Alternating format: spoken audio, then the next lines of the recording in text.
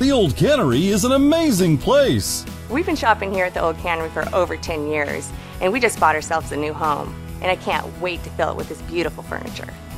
On a rainy day, one of my favorite things to do is to come down to the Old Cannery and get a cup of coffee.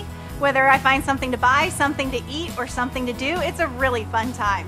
We've been voted number one furniture store in Western Washington three years in a row.